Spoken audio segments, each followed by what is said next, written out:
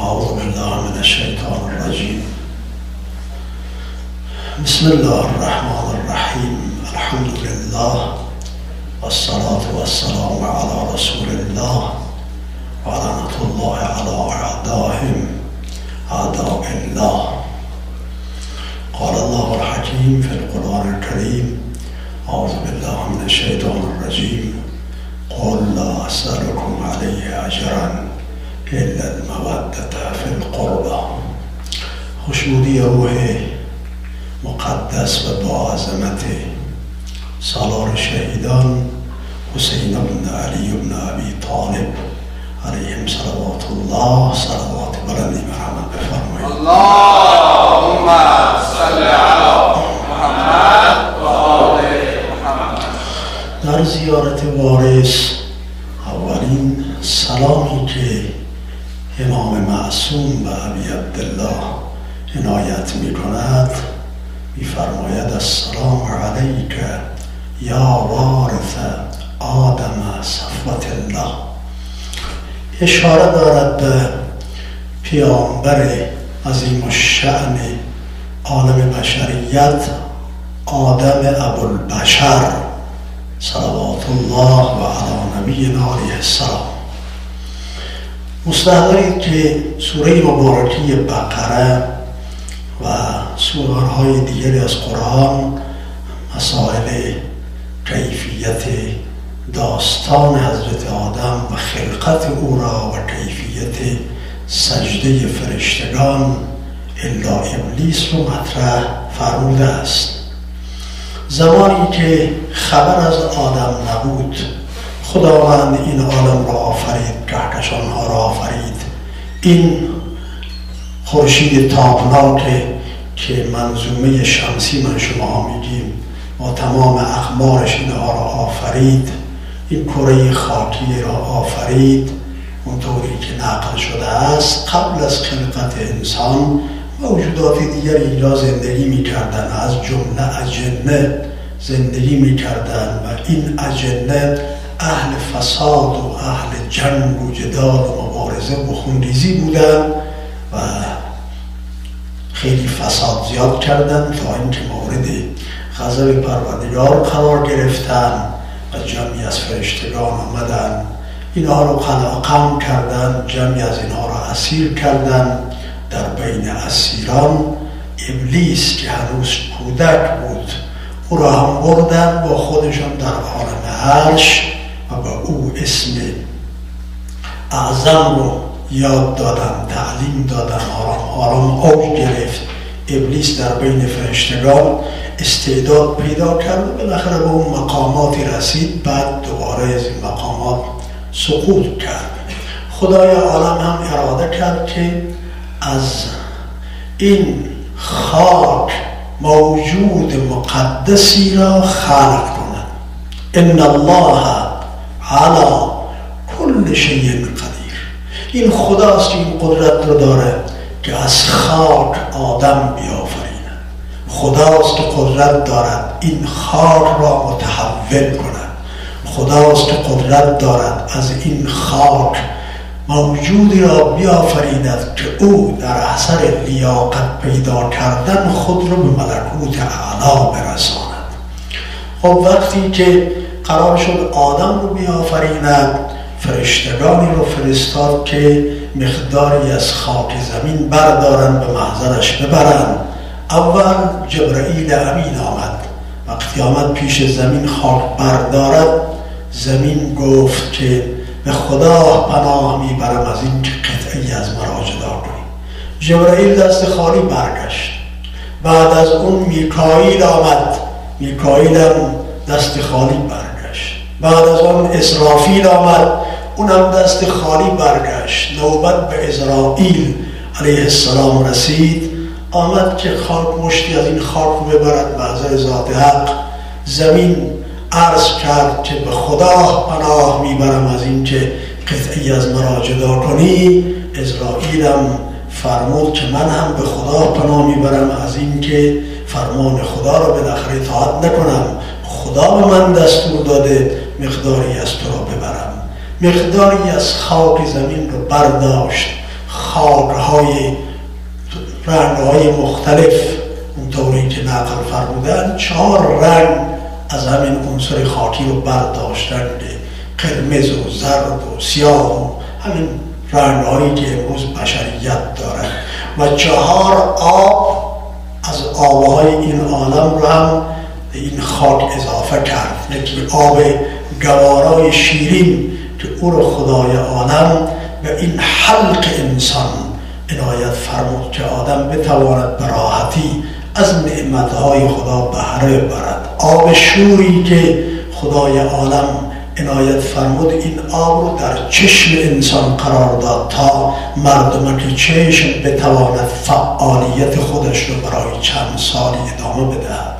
آب تلخی که خدای عالم او را در قوه سامعه و گوش انسان قرار داد تا این گوش در امان بماند و این جنبنده میل نکند که داخل سوراخ گوش بشود و آب گندامی را که اون آب رو انسان در دماغ خودش و در بینی خودش احساس می‌کند و دارد. به صورت این خارها مخمر شد و بعد خدای عالم عنایت فرمود و نفخت فیه من روحی. خب خدای عالم اراده فرمود که این خاک رو به همین کیفیتی که الان من شما هستیم به صورت یک انسان آفرید و از روح خودشان در او دمید و شد آدم علیه السلام آدم از عدیم است. عدیم عبارت است از مرحله از همین پوسته زمین. آدم رو که آدم می‌گویند چون لایه از زمین بالاخره در خلقت او مستقیما دخالت دارد. پیغمبر اسلام فرمود کلکم لآدم و آدم من تراب. همه شما از حضرت آدم اول بشر هستید سلسله خلقت شما منتهی به اون بزرگوار میشه و اون بزرگوار هم از خاک آفریده شده است از تراب آفریده آدم اول بشر آفریده شد. بعد از خود حضرت آدم خدای عالم از قسمتی از اضافه گل حضرت آدم که او را حیات عنایت فرموده بود حضرت حوا را آفرید. حوا رو که حوا می‌گوید به خاطر که او از حی آفریده شد. یعنی از انسانی که او قبلا بهش حیات داده شده بود حضرت حوا هم خلق شد و حضرت آدم و حوا وقتی که آفریده شدن خداوند در این دو بزرگوار از نعمتهای دیگری که عبارت است از مودت انسیت محبت در بین زوجین او را هم برای اینها عنایت فرمود تا اینها در این کره زمین زندگی کنند معیشت کنند امتحان بشوند رشد کنند زاد و ولد کنند و بعد به عالم ابدی منتقل بشوند. اونطوری که نقل شده است تعداد زیادی از فرزندان خداوند به حضرت آدم و حوا عنایت فرمود. نقل کردن که دو دختر به دنیا آمد از حضرت آدم یکی بسیار زیبا روی بود و دیگری اون زیبایی را نداشت و اینها هر کدام به اصطلاح وقتی حضرت حوا بچه می آورد یک پسر و یک دختر می آورد وقتی که این دو پسر دختر به دنیا آمدن رشد کردن خواهر قابیل اون زیبایی خواهر حابیل رو نداشت. همشون خواهر بودن. اون طوری که با همدیگر متولد شده بودن. قرار شد که اینها با همدیگر ازدواج کنند. قابیل رضایت نشان نداد. می‌خواست با خواهری که با او متولد شده بود بعد صورت ازدواج کند که در اینجا از طرف خدا بر حضرت آدم وحی آمد که اینها باید نظر کنند. نظر هر کدام قبول شد همون با این دختر زیبهروی ازدواج کنه. دوتا هم نظر کردند و همه می‌دانیم که فتقبل از یکی قبول شد ولیکن از حضرت قابیل قبول نشد. نظر حابیل که قبول شد خود این قبول شدن نظر حسادت قابیل را احیا کرد. امان از حسادت و تنگ نظری و بخل و این غزنه هایی که در قوه انسان هست حضرت حابیل مورد غضب قابیل قرار می‌گیرد و بعد قرآن میگه که اون هم آمد فورا حضرت حابیل را به قتل رسانید. او را به شهادت رساند کیفیت قتل این برادر به دست برادر رو قرآن مجید بیان فرموده است. از همون لحظه ازدواج با این محارم ممنوع شد. دیگه از همون لحظه حضرت قابیل هم من شد که با خواهرش ازدواج کند به خداوند جمع دیگری از موجودات را آفرید. که اونها با این اولاد اول بشر ازدواج کردن و زندگی ادامه پیدا کرد. غرض زندگی پیامبران اوجها دارد شکست ها دارد پیروزی ها دارد. بالاخره دارای نشیب و فرازهایی است. اونها برجستگان حضرت حقن مخصوصا حضرت آدم اونچنان با برکت است که خدای عالم وقتی او را آفرید و اگر اون نور خودش رو قرار داد یک نگاهی به این نور کرد حالت بالاخره خوشحالی بهش دست داد. عرض کرد پروردگار کسانی هم هستند که از من نزد تو مقربتر باشند.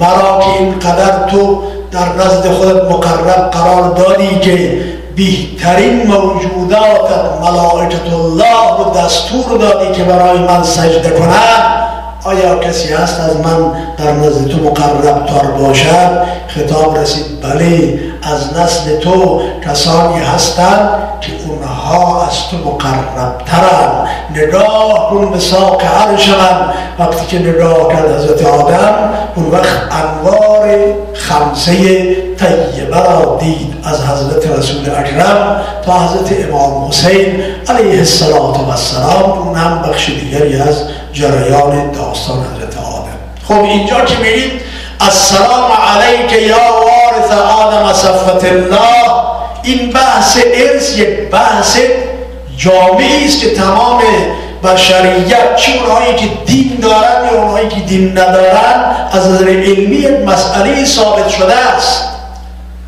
بحث ارث بردن از پدر از پدر پدر از مادر از مادر مادر چی در مسائل اخلاقی و چی در مسائل پزشکی و طبی. یکی از مسائل بسیار روشنه. امروز خیلی از اطبا و دانشمندان و حکما برای پدران و مداران گوشزد می‌کنن که فلان بیماری رو اگر شما پیدا کنی این بیماری تسری می‌کند به فرزندت و فرزندانت. خیلی از بیماری ها هستند که منتقل می‌شوند از پدر و مادر برای فرزند. و خیلی از رنها هستند که چندین نسل بعد برای فرزند کسی اون رنگ ظاهر میشه. در زمان آقا رسول خدا دو نفر با هم ازدواج کردن. اولین مولود اونها یک کودک سیاه پوست بود. کودک رو گرفتن آمدن خدمت پیامبر خدا عرض کردن که مادر سفید من سفید این بچه شد سیاه آمده پیامبر خدا فرمود که در نسل شما یکی از اجداد شما رنگ سیاه بوده به این بچه از او ارث برده است این سیاه رنگی را. بحث ارث بردن یک مسئله است که همگان این رو قبول دارند. بسیاری از رفتارهای زیبای پدران و مادران در فرزندان اونها ارث گذاشته می شود بسیاری از جوانمردی های پدران بسیاری از حیاهای مادران و عفاف مادران برای فرزندان اونها به ارث گذاشته می شود و همینطور برعکس بسیاری از رضائل اخلاقی از پدران و مادران و فرزندان منتقل میشه. یک کسی که دهان او در اختیار او نیست یک کسی که لاعبالیه برای او توفیر نمی کند چی از دهان او خارج می شود همین جریان ضد ارزش انسانی به فرزند او منتقل میشه. لابد که اینها را همه من شما ها می‌دانیم و یقین داریم. اینجا که در زیارت وارث وقتی صحبت میشه که سلام بر تو ای حسینی که وارث حضرت آدم صفت اللهی غرض هیچ یک از این قسمت های ارزی که من اشاره کردم نیست. بلکه اون ارزش های والای عبودیت و بندگی که در حضرت آدم تجلی پیدا کرد اونها در امام حسین علیه السلام به مدرسه ظهور رسید. وقتی نگاه می کردی به حضرت امام حسین السلام اون ارزش های والای حضرت آدم رو در اون می دیدی در روایت اگر کسی بخواهد حضرت آدم رو بنگرد با اون صفتش و اگر بخواهد حضرت ابراهیم را نظاره کند با خلتش و اگر حضرت عیسی و موسی را نگاه کند با کلیمیت و مسیحیتش و اگر رسول الله رو ببیند با اون حبیبیتش به رخ و جمال امیر المؤمنین صلوات الله علیه نگاه کند. اینها وارثان انبیا هستند. امام حسین وارث همه انبیاست که در همین زیارت وارث به اون اشاره شده است که از پنج تن از انبیاء صاحب شریعت ارث برده و از یک تن از پیامبران غیر اولوالعزم که حضرت آدم علیه السلام است. سلام بر تو ای حسین فاطمه که این همه خوبی ها در تو تجلی پیدا کرده است. سلام و درود خدا بر تو ای حسینی که دیروز کوردران با اون شقاوت و بدبختی تو را به شهادت رساندن و بر علیه ارزش های تو اون همه مصرف کردند و هزینه کردند و تبلیغ کردند و سال بر علیه شما منبرها و خطبه ها خوانده شد. اما بعد از 1400 سال جمعی از ارادتمندان تو در گوشه و کنار عالم در سردترین جاها در گرمترین جاها در کشورهای غیر اسلامی ازاداری تو رو تکریم می‌کنن پاس میدارن سر تعظیم در مقابل ارزش های تو قرار میدن که چقدر تو عظیم و شعنی واقعا راه رسیدن به فیوز الهی راه رسیدن به رستگاری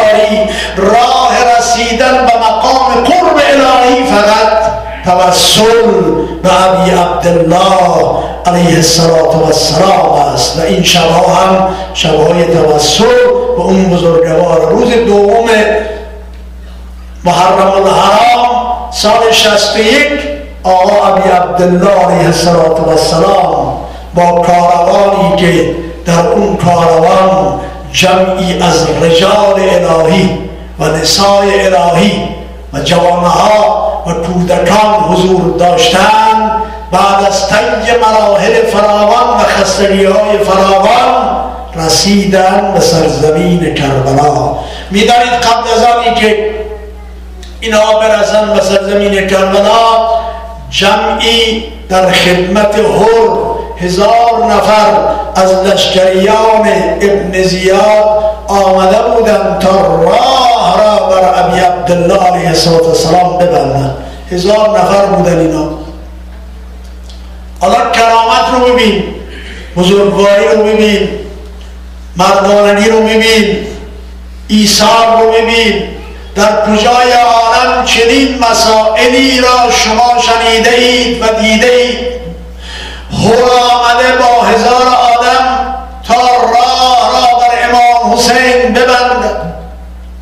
این جمعیتی که در خدمت هر بودن اینها کسانی بودن که در اون مسیر قبلا نیامده بودن هوا گرم بود مقدار آبی که داشتن مصرف کرده بودن. دیگه نمیفهمیدن که آب از کجا بردارن که خودشون را از تشنگی نجات بدهن. رسیدن به قافله امام حسین.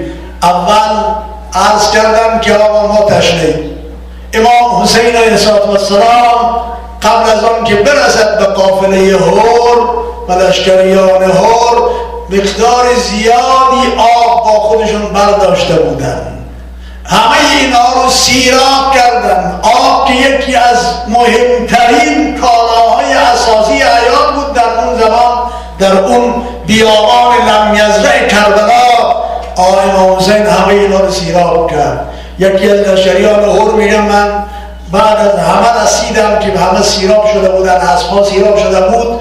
رسیدم تا چشم امام حسین به من افتاد. فرمود تشنه ای از کردم بله مشک آب رو در اختیار من گذاشت. من از بس که تشنه بودم خیلی متوجه نبودم دهان گذاشتم به دهن مشک مقداری آب بیرون میریخت. امام حسین خودشون تشریف آوردن فرمودن برادر اینطوری آب نریز که آب اصراف میشه دهن مشک رو برای من به گونه ای که من بتوانم براحتی آب بنوشم. این گونه برای من قرار داد و من آب خوردم و اسبم رو آب داد و بعدا حالا هر آمده جسارت می‌کنه که ما اجازه نمیدیم شما قدم از قدم بردارید.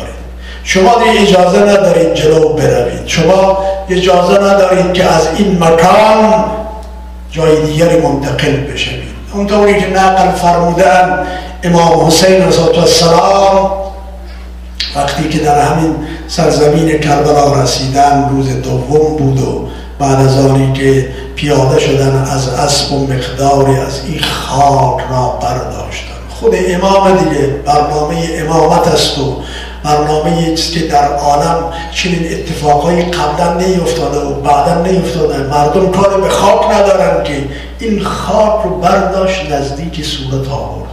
وقتی که به نزدیک صورت آورد حالش منقلب شد. رو کرد طرف یاورانش فرمود باسم علی اکبرم اونم قاسمم. دیگه بارهای شطورها رو بردارید دیگه اینجا خیمه ها رو برپا کنید. چه خبر شده یا ابا عبدالله؟ چی شد که شما مشتی از خاک برداشتی و به ما فرمان میدی؟ فرمود بله این همون تراب مقدسی است که خونه های ما روی اون میریزد. این خاک از اون خاک است که جبرئیل امین برای جدم رسول الله آورده بود و ام ایمن داده بود تا او گفته بود که این خاک رو نگه دار هر وقت دیدی بدن بخون شد بدان اون روز عزیز مرا پاره جگر مرا نور چشمان مرا حسین مرا به شهادت می‌رسد این همون خاکه. حالا در این گیرودار می‌دانید که دو همیشه با هم بودن. دیگران گاهی غائب بودن اما زینب هیچ گاه از حسین علیه السلام جدا نشد. چی در زمانی که شوهرداری می‌کرد بچهداری می‌کرد در با همون شرطی که آی عبدالله هر از گاهی حسین بخواد به سفری برود من هم باید با او بروم. اگر می‌خواهید با این شب همسرتون می‌شوم حالا آمد خدمت برادرش صدا زد حسینم از اون لحظه ای که دستور دادیم ما بیاییم پایین خیمه ها رو برپا کنن من نمیدارم این دل من چرا آرام نمی باشه چرا؟ این دل من سکون نداره. چرا اینقدر من منقلبم معلومه دیگه. یعنی اینها از خاندان وحیان السلام علیکم یا اهل بیت النبوه همه اینها جریانات رو قبلا می‌دانن. حالا آمدن به وعده الهی عمل کنن. عرض کرد یا عبدالله چرا این دل من آرام نیست؟ فرمود زینبم آرام باش. این سرزمین کربلاست. همه من و شما باید به خدا پناه ببریم از مصیبت های این سرزمین. عشق های زینب سرازیر شد. السلام علیک یا ابا عبدالله. السلام علیک یا زینب کبرا. صلی الله علیکم. خواهرم اینجا زمین کربلاست. این زمین غصه و درد و بلاست. این زمین بوی جدایی می‌دهد.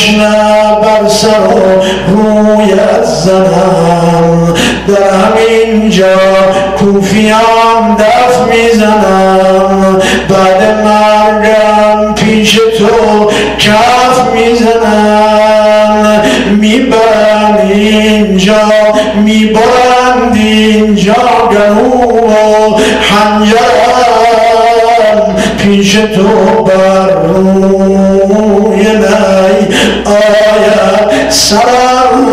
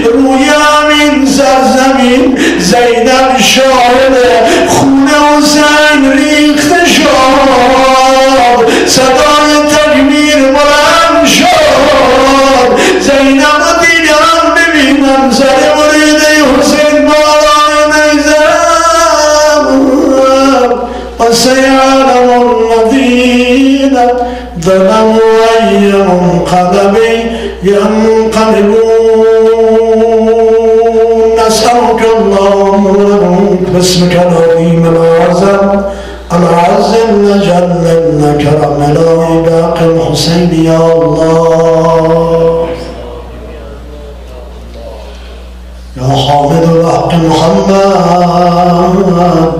يا علي وباك علي. يا فاطم وباك فاطمة. يا محسن باق الحسن. يا قديم الإحسان باق الحسن. خدايا حي من يزمع سخي صغير كبير ما. زن و مرد مارا پدران مارا مادران مارا برادران مارا خواهران مارا همه را غریق دریا رحمتت بفرمای.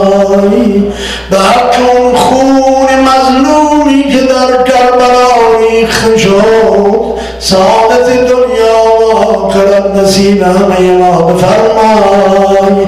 بین ما علی عبدالله دنیا و آخرت جدای مینداز خدا آرزوی اشتیاقت این از جمال دلربای حسین رو زیارت کنم. خدایا ما را زیارت جمالش بهرمند فرمای. پروردگارا همه عالم را شوم گرفته است. خدایا فرزند ابی عبدالله و فریاد عالمیان برسان. لباس زور بر تنش بپوشان. خدایا قلب بزرگوار باز ما راضی بفرمای. فرجش رو نزدیک بفرمای. کشورهای اسلامی از شر دشمنانش حفظ فرمای. همه نوجوانان جوانان خواهران میان سالها بزرگان مخصوصا در کشورهای غیر اسلامی. از شر دشمنانشون محفوظ بدار. خدایا همه ما را توفیق بندگیت مرحمت فرمای بالنبی و آله رحم الله لمن قرأ الفاتحة مع الصلوات